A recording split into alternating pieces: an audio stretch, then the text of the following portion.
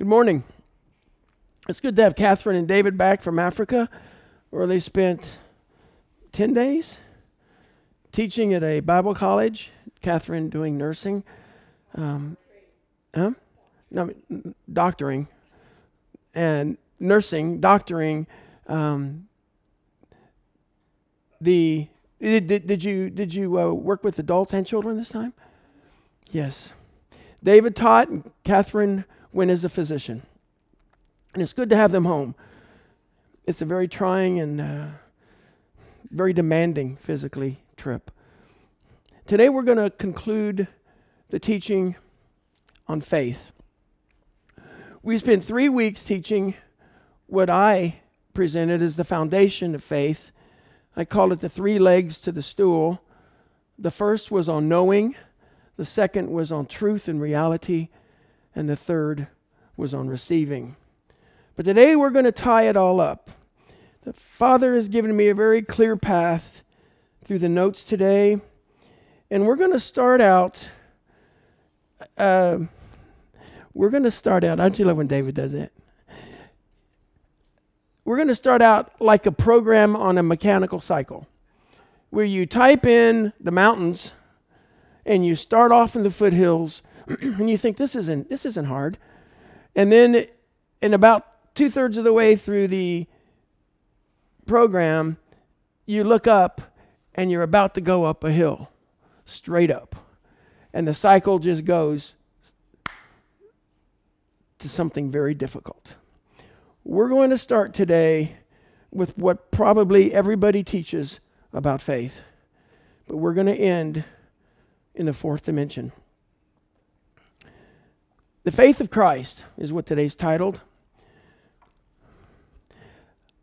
To quote Star Trek, faith, the final frontier. Our continuing mission to seek out new life, to boldly go where only one man has gone before. Faith the final frontier. What do we really know about faith? What is faith to the new creation son? Most Christians today will tell you when you ask them that faith is a deep conviction of what I believe. It's a state of mind, it's a feeling. Joel Osteen will tell you it's a formula to unlock the blessings of God. Many will tell you it is a possession that can be lost. Did you know that John lost his faith last year? I'd really like a definition in a Google entry that says faith is a gift from God that we get from reading the Bible. Faith may very well be the most often used, yet most misunderstood word in the vocabulary of today's Christian.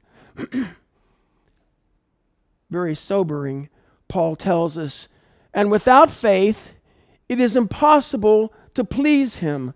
For he who comes to God must believe that he is, and that he is a rewarder of those who seek him.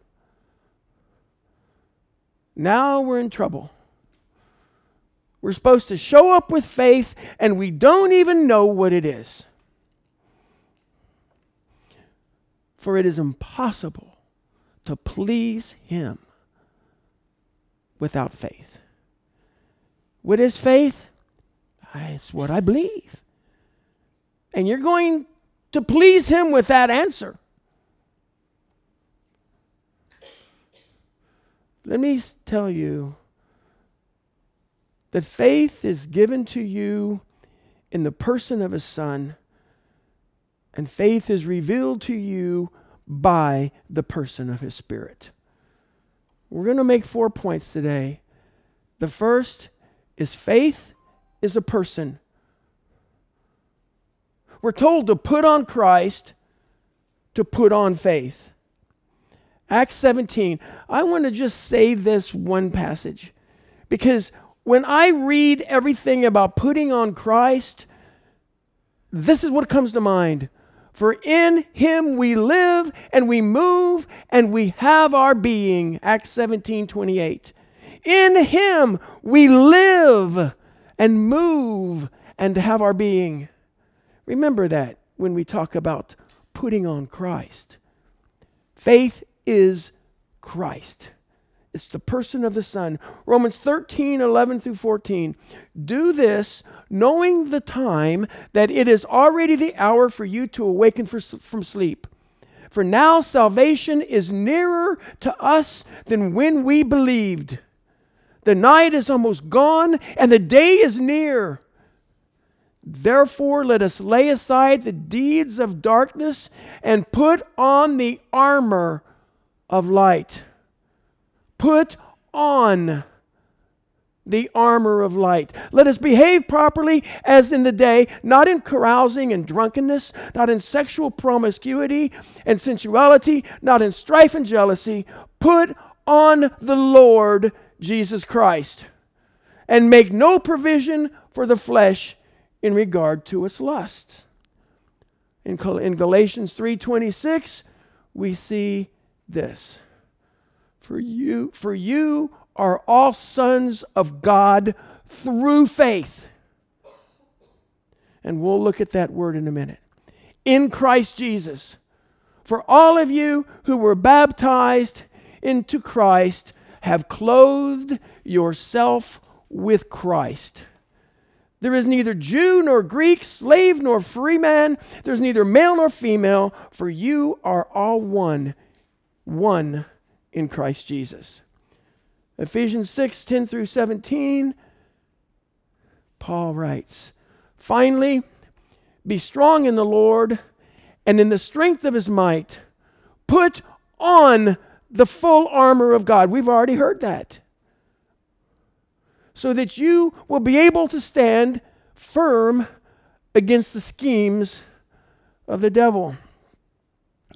For our struggle is not against flesh and blood, but against the rulers, against the powers, against the world forces of this darkness, against the spiritual forces of wickedness, wickedness in the heavenly places. Remember that statement. Our struggle is not against flesh and blood. Therefore, because we're not struggling against flesh and blood, but against the principalities and the powers and the rulers of darkness. Take up the full armor of God so that you will be able to resist in the evil day. And having done everything to stand firm, stand firm, therefore, having girded, put on girded your loins with truth, and having put on the breastplate of righteousness, and having shod your feet with the preparation of the gospel of peace. In addition to all, taking up the shield of faith, with which you will be able to extinguish the flaming arrows of the evil one the shield of faith. We're going to look at that picture in a minute of what that shield is when Paul wrote this. But I want to first talk about the flaming arrows of the evil one. You think you're saved. How do you know? Why, it's just your belief against the belief of millions. What makes you think you're right? Have you seen heaven? Do you know anybody that's ever come back and told you there was one?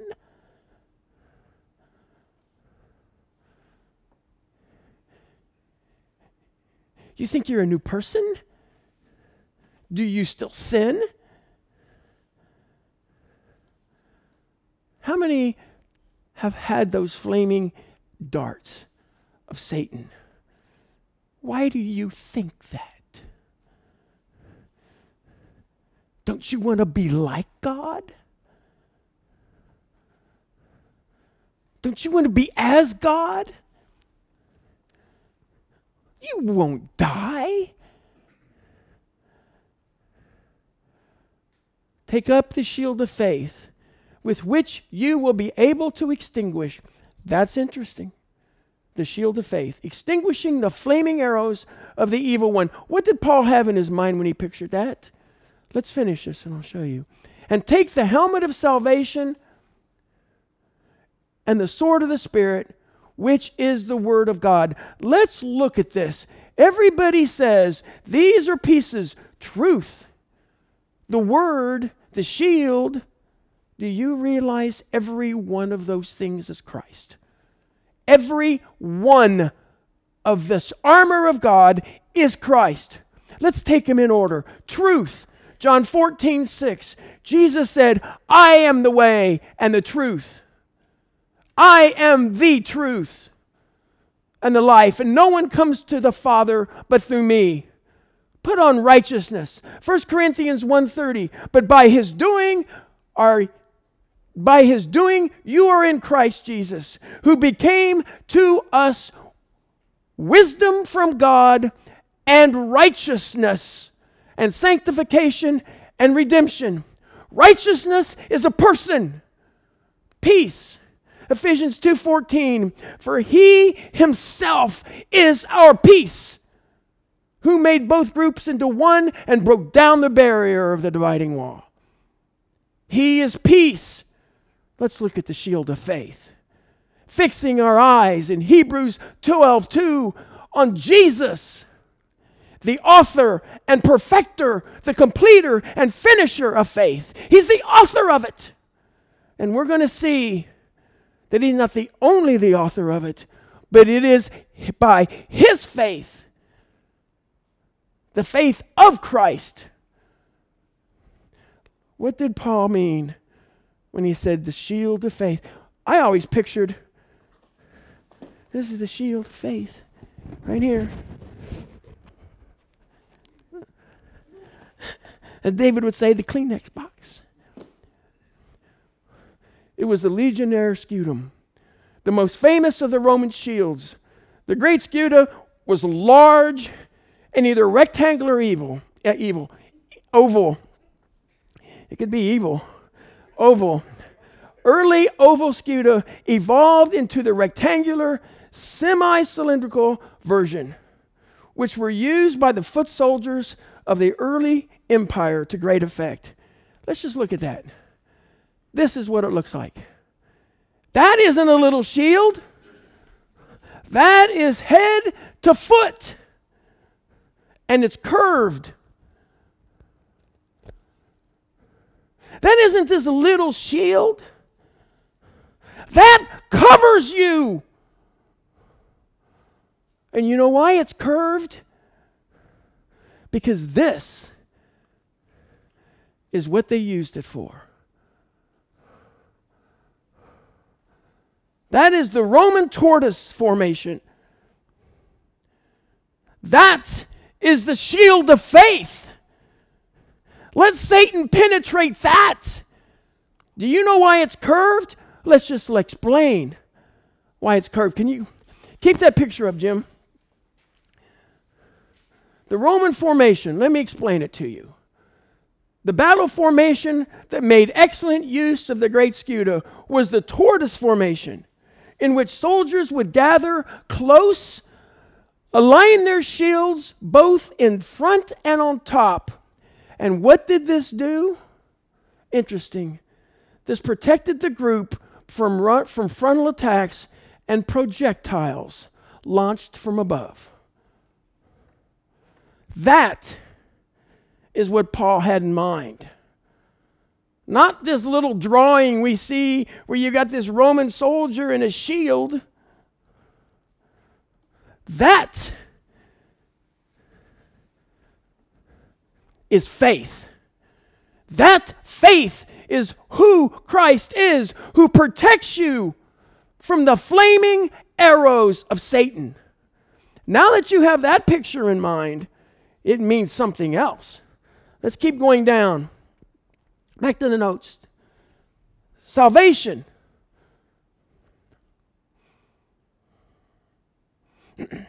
salvation. Put on salvation. John 3:17 For God did not send the to send the son into the world to judge the world, but the world may be saved through him. Put on salvation. And the last, the word of God. Well, that's the sword. That's that's the Bible. John 1 1. In the beginning was the Word. And the Word was with God, and the Word was God. Everything we put on is Christ. He is our faith. The full armor of God is Christ. It is the person and identity of Christ. There is no ability to stand firm against the rulers and powers and spiritual forces of this darkness with only an understanding of the two person gospel. Me and Jesus. We're going to see what the difference is soon. But when it's me and Jesus, I have faith in Christ. How can I have anything else? It's me and Jesus is in me. Therefore, I've got to believe. I've got to have faith in Christ. There's no power in me and Jesus. The two person gospel is tantamount to knowing Christ in the flesh. As Paul said, our struggle is not against flesh and blood. So, why is the two person gospel going to defend you, to protect you.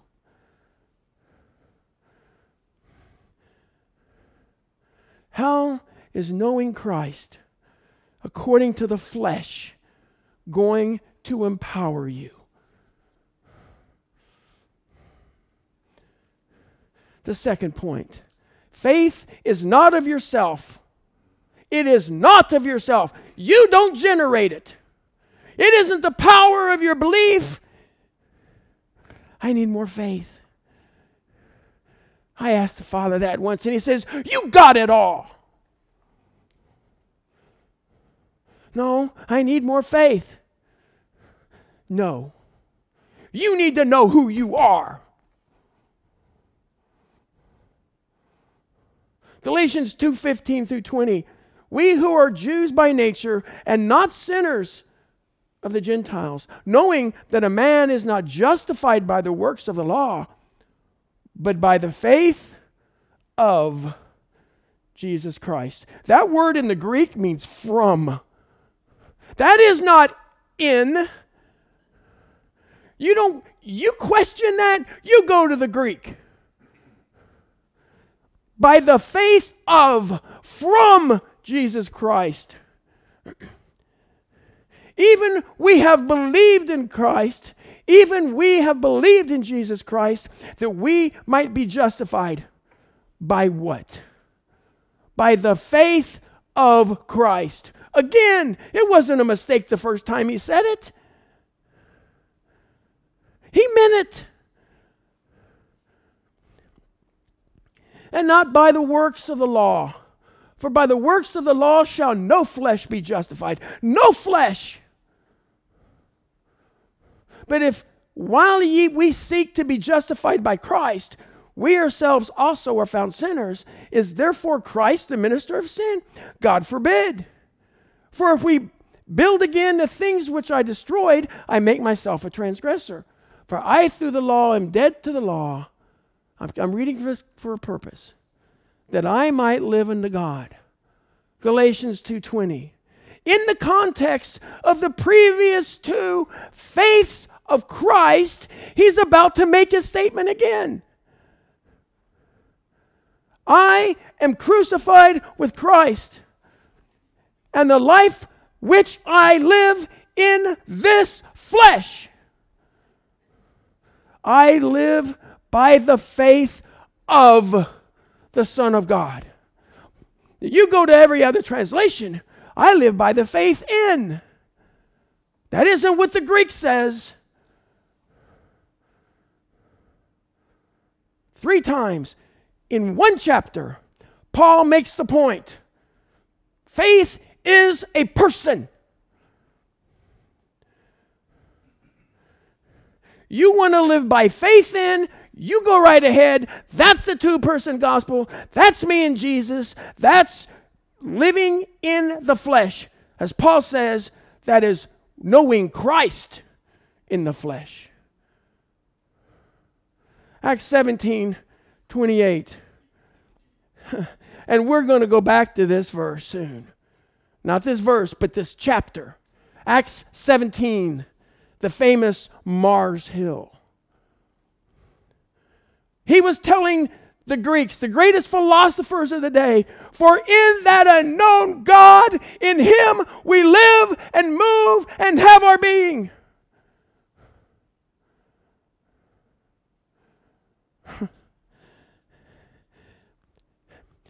How can you put on Christ any more than living, moving, and Him being your being? Ephesians 2 8. For by grace you were saved through faith, and this not of yourselves. It is the gift of God. Wait a minute. I thought I had to believe. I thought I had to. I thought I had to manufacture enough belief to believe that God is. And faith. And this not of yourself. It doesn't matter what you believe, it doesn't matter your opinion.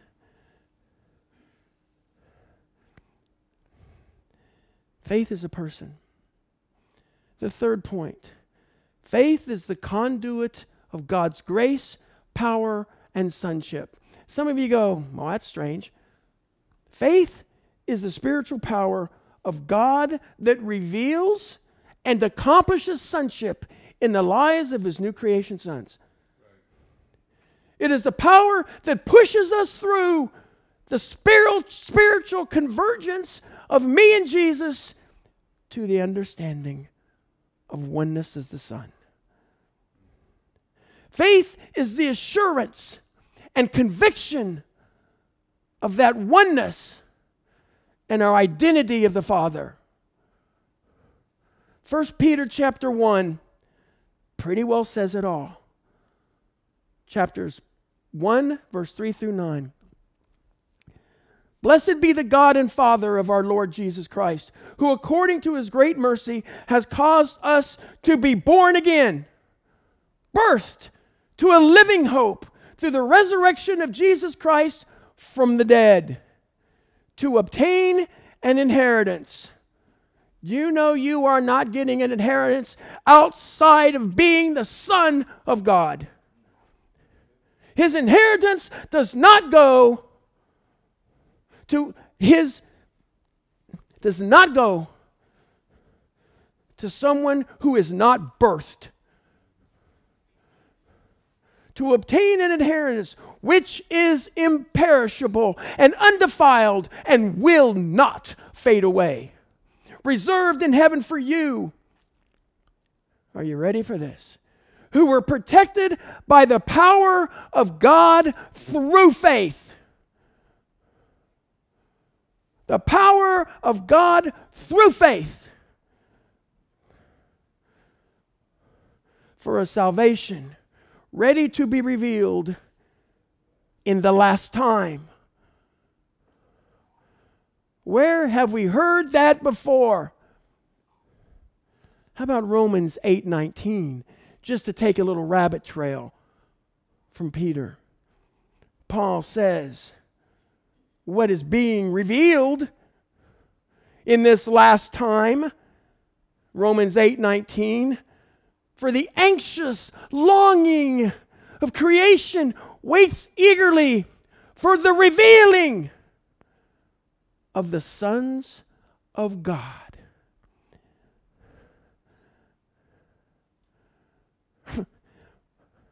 The power of God through faith for a salvation ready to be revealed in the last days. The revealing of the sons of God, the revealing of the inner makeup in the Greek, the invisible, the inner reality. That's what's being revealed. Today, Paul says the night is soon over.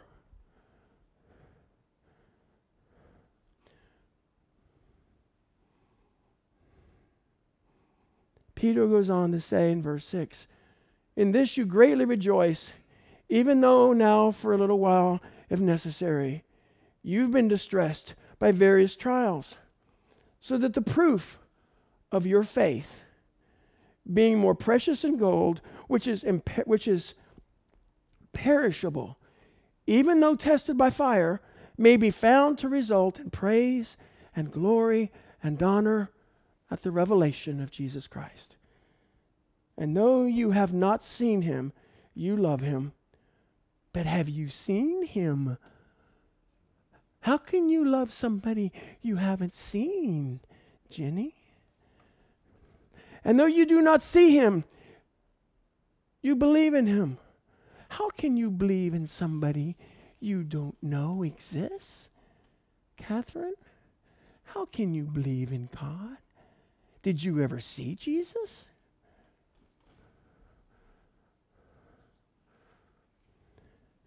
And though you do not see him now, but believe in him, you greatly rejoice with joy. Inexpressible and full of glory, obtaining as the outcome of your faith the salvation of your souls. Faith has an end, it's at the beginning. You've been saved by grace through faith. It has an end. The outcome of your faith, the salvation of your souls. James says, the perfection and the completion, the maturity. Ephesians 2 8. For by grace you've been saved through faith and not of yourselves. Again, Paul is saying, grace through faith is at the beginning. Galatians 3:14 and then 14 through 26 Paul writes in order that in Christ Jesus the blessing of Abraham might come to the Gentiles so that we would receive the promise of the Spirit through faith. The promises of God, the promise of what? Oh, let me let me just keep reading. Therefore, the law has become your tutor to lead us to Christ so that we may be justified by faith. But now that faith has come, we are no longer a, under a tutor. What was that promise? Through faith? For you are all sons of God through faith. It's the conduit of God it's the revelation of the sonship in Christ Jesus. It is a person. It is a it is the conduit by which God moves you through maturity to maturity and completion. And I'm just going to say right now, we are only on the foothills of the revelation of what faith is. You just wait till we get to the mountains. The revelation we're about to look at now is for those who have ears to hear. Because I'm going to tell you, this is soon to be fourth dimension. what Paul says in nine words.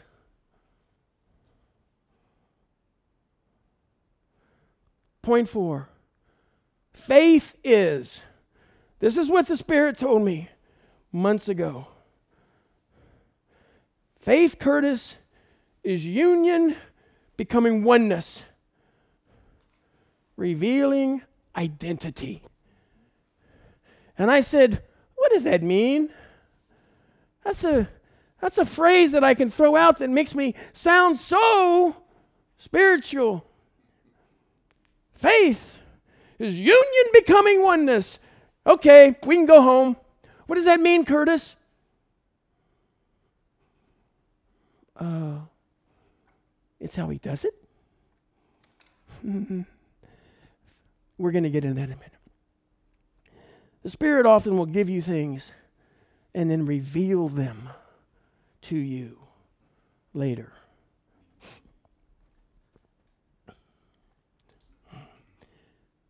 Union, faith is union, becoming oneness, revealing identity. Our knowledge of Christ in the flesh, me and Jesus, becomes an understanding, becomes the understanding that in Christ we're a new creation, a new creature, another person. Faith drives us through convergence. What is convergence? When two become one. The me and Jesus gospel, convergence takes that and turns it into one. One understanding. An understanding of one. Faith is the second. Knowledge becoming understanding. Eido, becoming ginosko, becoming understanding. That's what faith does. We went through that four weeks ago. Last, faith is three dimension becoming fourth dimension. It is the temporal becoming spiritual. That's the three things faith does. But I want to focus on the first one. In nine words, Paul says faith is union becoming oneness, revealing identity. Really? Where does Paul say that? Paul never says that. Six months ago, when the Spirit revealed that to me, I couldn't have told you this. But the Spirit explained. Hebrews 11 1. Now, faith is the substance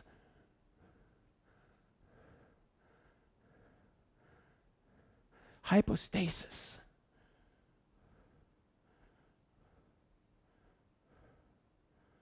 Of things hoped for, substance of things hoped for, the evidence of things not seen. Now, if you had asked me that years ago, I'd have said, well, that's just God convincing you of what you believe. That's what faith is. Getting to a point where you're finally convinced of what you believe enough to make it happen.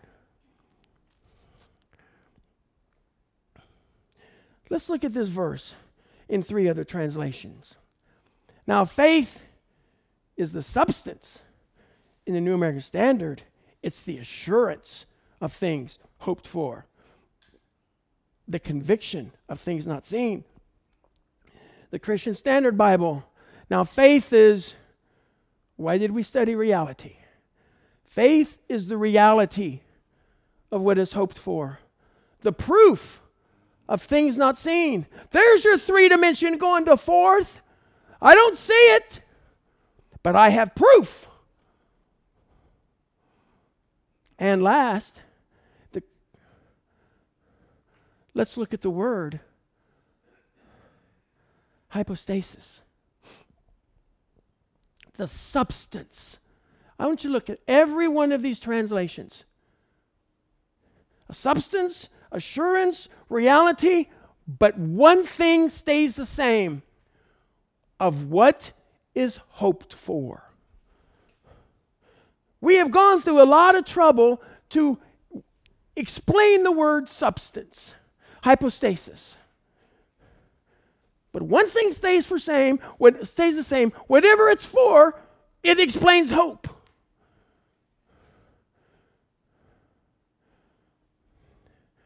That word, hypostasis, may be one of the most complex words I've ever seen in the Greek. Let's look at what it is. It appears five times in the New Testament. Three in Hebrews. Why is Paul using that three times in Hebrews?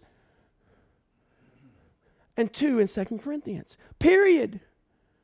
That word's significant. He doesn't use it a lot.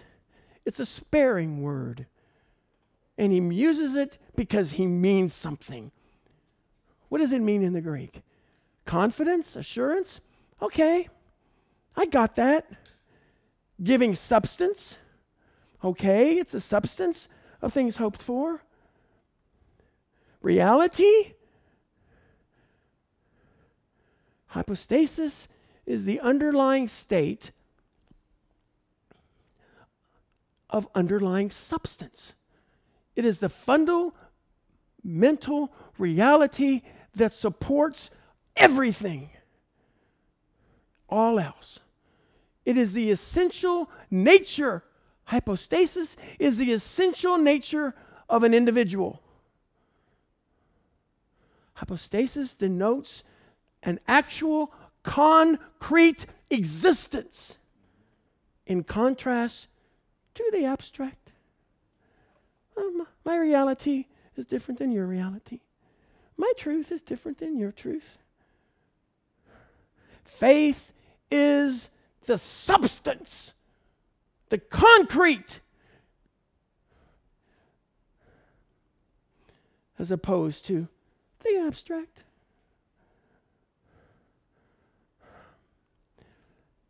Our English adjective, it's actually a word in English, hypostatic, hypostatic, hypostatic, comes from the Greek word hypostasis.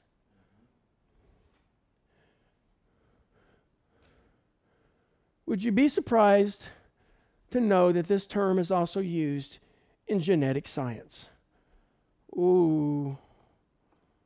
Hypostasis is the failure of a gene to produce its usual effect when coupled, when becoming in union with another gene that is epistatic toward it. This word is also a genetic word. This word has many facets of meaning. Let's look at where Paul uses it. Reading in the Berean Literal Bible, because it literally translates the Greek. Hebrews 1 3. Let's look at where else Paul uses substance. God.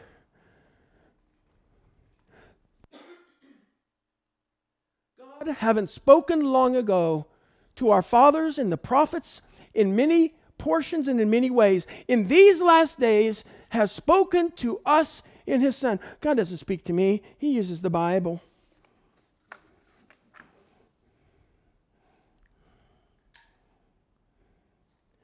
Whom he appointed heir of all things, and through whom he made the ages. Who, being the radiance of his glory, the exact expression of his substance. Hypostasis. Substance. The exact expression. This passage has created a doctrine. In the theology world, that doctrine is called hypostatic union. Let's look at that, what that means. Let me script.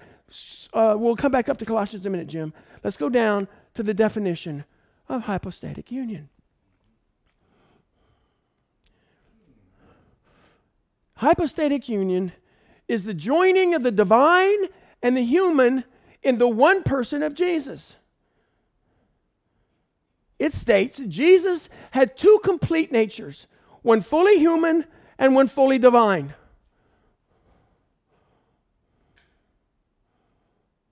What the doctrine of hypostatic union teaches is that these two natures are united in one person in the God man. It teaches that Jesus is not two persons, he is one person.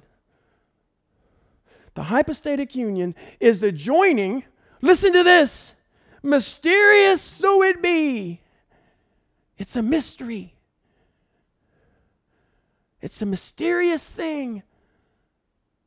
The union is the joining of the divine and the human in the person of Jesus. That's the word substance. One writer states, I love this guy. He says, the doctrine of hypostatic union is an attempt to explain how Jesus could be both God and man at the same time. It is ultimately, though, a doctrine we are incapable of fully understanding. It is impossible for us to fully understand how God works. We, as human beings with finite minds, should not expect to totally comprehend an infinite God. Therefore, we have assigned this unknown doctrine, hypostatic union, to this God becoming man.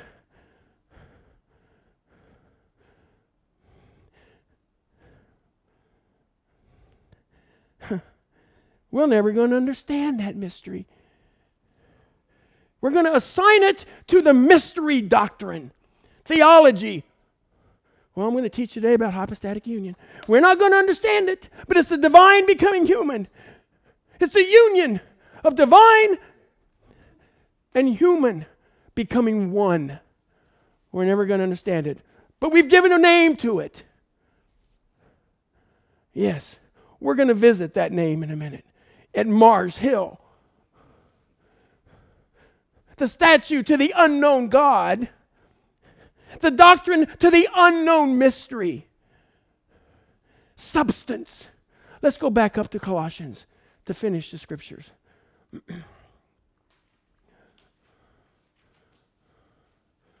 Let's put some verses together.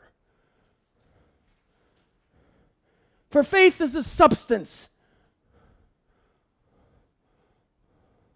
of what you hope.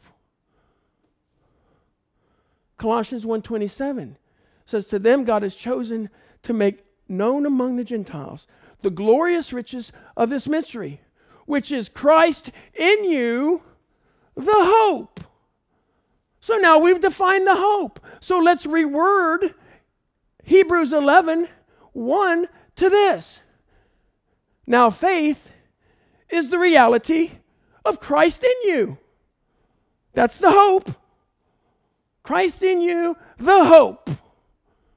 So let's just take the word hope and substitute it for the reality of Christ in you.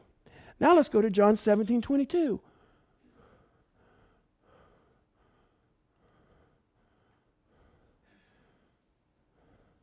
The glory which you have given me, he's talking to the Father, I have given to them that they may be one, just as we are one. I and them, and you and me, that they may be perfected in unity. The divine and the human soul. Now let's combine all three of those verses. And Hebrews 11:1 1 now reads, now, faith is the reality of Christ in you and oneness by which we become sons of God and are glorified, sharing his essential nature. That's what Hebrews 11 1 says. It's just Paul says it in nine words.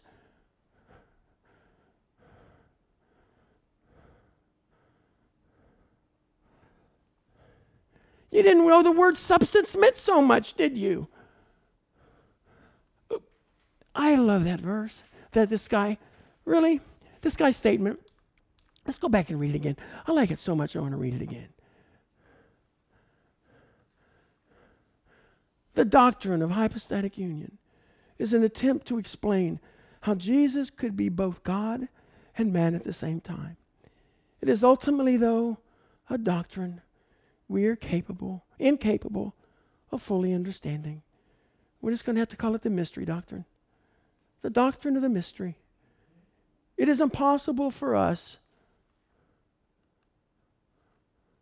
to fully understand how God works. We as human beings with infinite minds should never expect, oh, excuse me, with finite minds, thank you, Catherine, should never expect to totally comprehend an infinite God.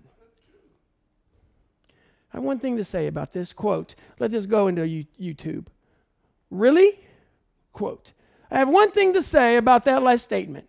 Union, oneness, and identity is the answer to your thousand questions, including what you can't understand and refuse to receive.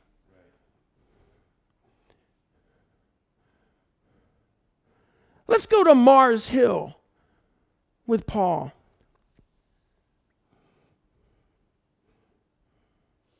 The Areopagus, the Hill of Ares, where Ares was tried in front of Zeus in Greek mythology. That's what the Greeks believed. The Hill of Ares. It's where the Greeks would go over almost 400 foot elevation above the city and they would debate the philosophy of the day. In fact, when Paul came to Athens, he said, Why don't you come up to Mars Hill and teach us? Let us debate. What did Paul say when he got there? I noticed you have a statue to the unknown God. Let me tell you who that is. Let's go to Mars Hill, 2019. I notice you have a doctrine to union and oneness, and you don't know what that is. I notice you have a doctrine given to a mystery. Your doctrine of hypostatic union. I notice you got a statue over here built to it. I notice you teach your doctors, your, your theological students this doctrine. Let me tell you, Greeks, what that doctrine is it's the birthing.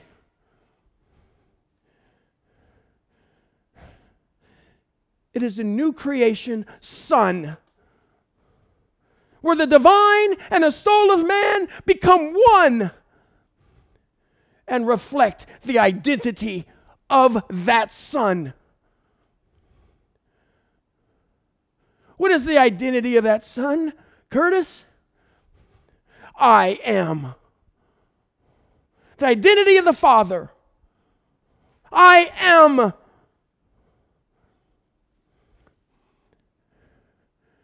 Now, we just had a, a Mars Hill moment. In 2019, there are things still dedicated to what man does not understand in the churches today, they don't know this. If I were to go to the Baptist church, I would have to say, let me tell you about the statue you've built to union and oneness of the divine birthed into the soul of men, into the spirit of man, the divine birthed into the spirit of man. The metamorphosis of that individual into the reality of that new creation.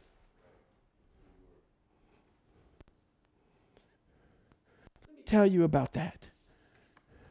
Because you obviously think it's a mystery. Second Corinthians, First Corinthians, First Corinthians chapter 2. The mystery. Finally, the evidence of things not seen. That which the invisible are proved. The evidence of things not seen. Paul finishes that verse. That is the invisible that are revealed. It is the spiritual, the temporal becoming spiritual. It's knowledge becoming understanding. It's your third dimension senses becoming fourth.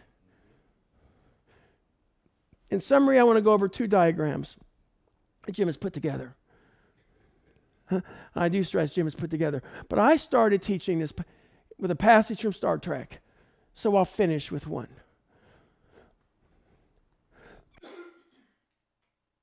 For you Star Trek fans, The Next Generation, Season 2, Episode 5. Deanna Troi tells Captain Jean Luc Picard confidence is faith in oneself.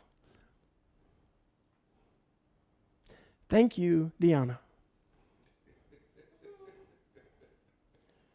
Because you have just said what the two person gospel is all about.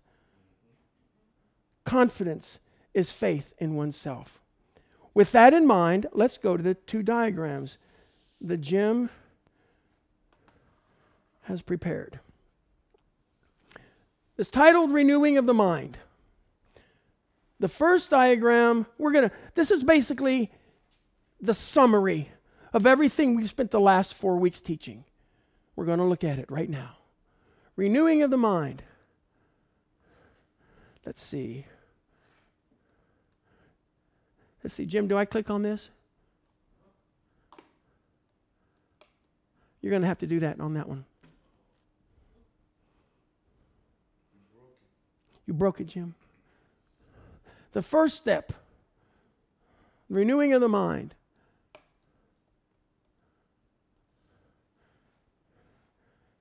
I'm going to try the main, main button too. Try that first. Revealed truth. The first thing that happens the Spirit reveals truth to you. It has to be revealed. You just don't stumble across it one day and go, oh, that was truth. The Spirit reveals truth. Let me try this button, Jim. Okay. That revealed truth becomes Eido knowledge. Eido is perceived with any of the senses. You can see it, you can read it, you can hear it. The Spirit reveals it to you, and it becomes knowledge, Eido knowledge. I'm aware of it. I know about it. Let me try this button, see if this does it. No, go to the next one. That Eido knowledge must be received. We talked about that four weeks ago. You must receive Christ. In that receiving, what you know, Eido, becomes ginosko, knowledge. Union. Ginosko, union. You become in union with Christ. You receive Christ, you now are in union with Christ.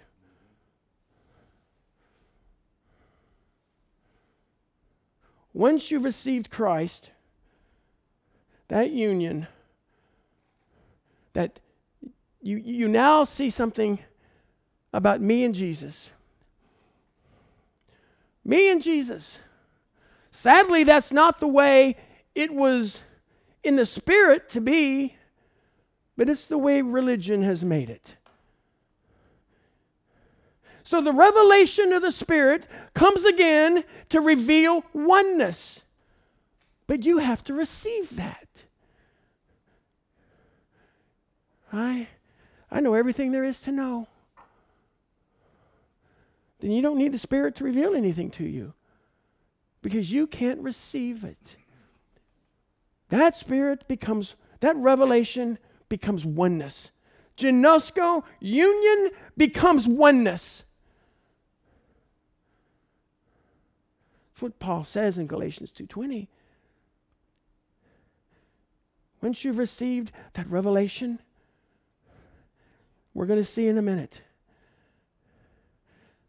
There's understanding that takes you from that knowledge of union to the understanding of oneness. Oneness leads to, go to the next one. identity. David once asked me, Well, you got everything becoming one. What does one lead to, Kurtis? Where does one take you? What does it reveal? It reveals identity. Who is that son?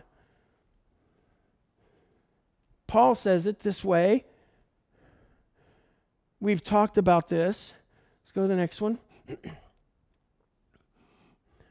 In 2 Corinthians 5:16, even though we've known ginosko, Christ according to the flesh, we knew him in the two-person gospel. Me and Jesus. The next one. Yet now we know him in this way no longer. We talked about that. That's convergence. That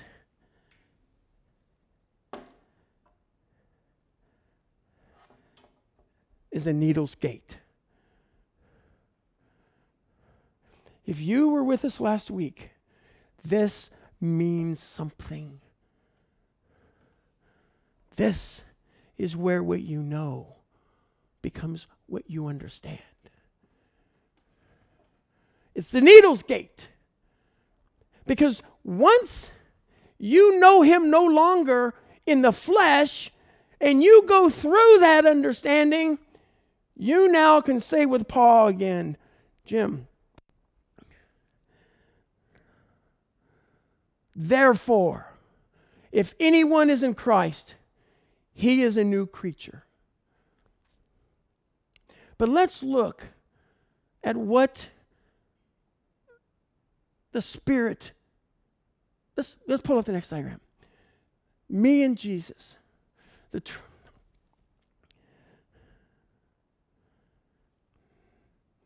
Here it is. Starts out with the Eido knowledge. Me and Christ. It goes to Ginosko. That ginosko is union with me in Christ. And what is the becoming? What is next, Jim? Why do you think I've worn a purple shirt for three days? Three teaching days? David says it's because they have nothing else to wear. David, David wears a shirt with an S on it that stands for the son. My expression is purple. Why? Because we're going to see in a minute that the mixing of me and Jesus, of red and blue, creates another color, another person. It's neither red, it's neither blue. When red and blue become union, it makes purple. It's another color. And I put David's diagram on here so David can use this. And it incorporates what he's taught. That new creation is a new spirit. But your soul mind, which is the circle below, is becoming renewed, renewed to the revelation. The renewing of your minds. Be transformed by the renewing of your mind. That is what the new spirit is doing. It's the soul, mind, it's the new spirit soul. But we don't know it right off. But it's what happens. Let's go to the next diagram. This is what we just discussed. Let's look at the second diagram.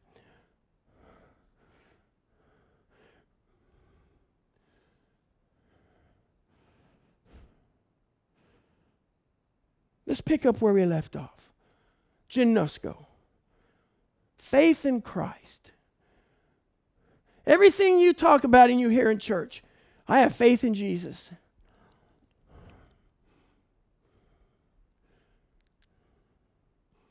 Go to the next one, Jim. That faith is your belief, your conviction, confidence, hope, a state of mind, positive thinking. That's what faith means in Christ. I believe in Jesus. I have a hope that Jesus will one day take me to heaven. Go to Joel Osteen, it's a state of mind. If you have faith in Jesus, then you can claim the promises of Israel. It's positive thinking. Don't ever tell me you're sick. That's not positive. Don't tell me you're having a stretch of poverty or poor. That never happens to believers. So when it's me and Jesus, we go to the next step. The little tiny blue me becomes a bigger Jesus in me. There's now two people, but Jesus is becoming more. I am becoming less, and Jesus is becoming greater. Let's go to the next one. This is what we want it to be like a little bitty me and a big Jesus. What does this diagram have to do with faith? Pull up the scripture, Jim. Philippians 3 4. Though I might also have confidence in the flesh. What did Deanna Troi tell the captain? Confidence is self belief. Is the belief in oneself. Confidence. When it's faith of you and Jesus, there is no way you can have faith outside of faith in Christ or faith in myself. Paul said, I might also, though I might also have confidence in the flesh. That word confidence is a derivative of the word faith in the Greek. He could have easily said, I may also have faith in the flesh. He said, a derivative, I might also have confidence in the flesh. Self confidence. Self confidence. If any other man thinketh that he hath whereof he might have trust in the flesh, Paul said, I more. But what did Paul say next? Let's pull this up, Jim. The eye of the needle's coming, and it's called convergence. Paul says, I count all things but loss for the excellency of the knowledge of Christ, Jesus my Lord, for whom I have suffered the loss of all things, and do commit and do count them but dung.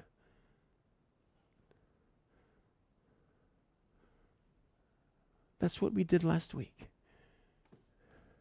Nothing of my identity would go through this gate. Everything I knew, everything I was, everything I believed, Everything that was important about me couldn't go through this gate.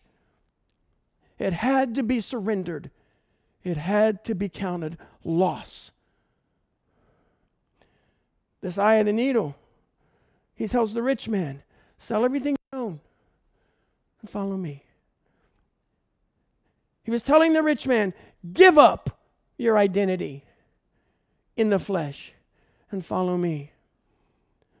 From that, I will promise you this you will walk away from something. You will walk away. Well, that's pretty bold of you saying, I'm going to walk away like the rich man did.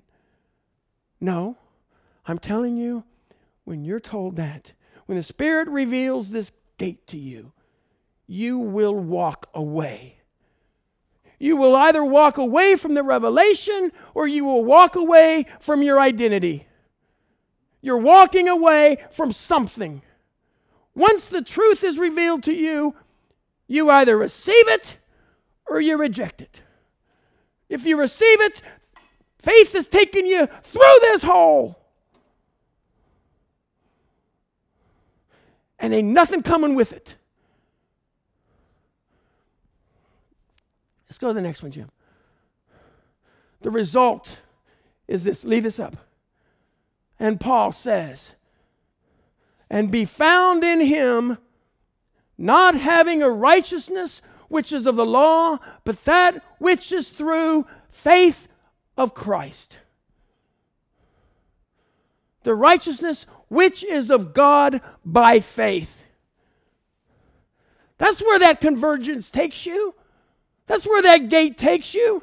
It takes you from faith in to faith of. It takes you from me and Jesus to I'm the Son. And the essence of the Father is mine. Faith of Christ, Paul says, the substance of things hoped for, the evidence of things not seen. There's that son. There's the purple. This is what people can't get. Well, if I accept Jesus, it's got to be either me or Jesus. There's a third option none of the above. A new creation. The process of sonship. Let's pull up the last verse, Jim.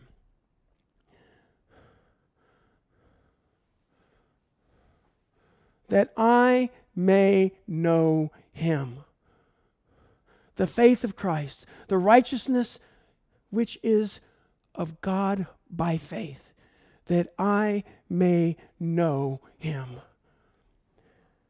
Ginosko.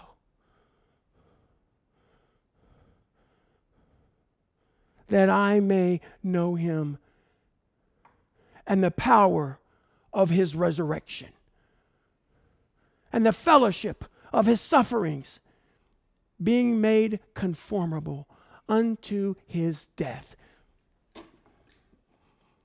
This gate requires everything of you.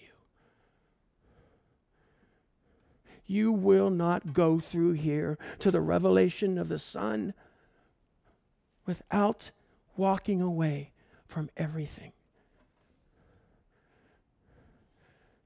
If it's too much for you, you can stay with me and Jesus. But as we talked about four weeks ago, that will fail. And there is failure. We're going to make a complete circle. That's where failure comes in. For if what you know is not truth, it will fail.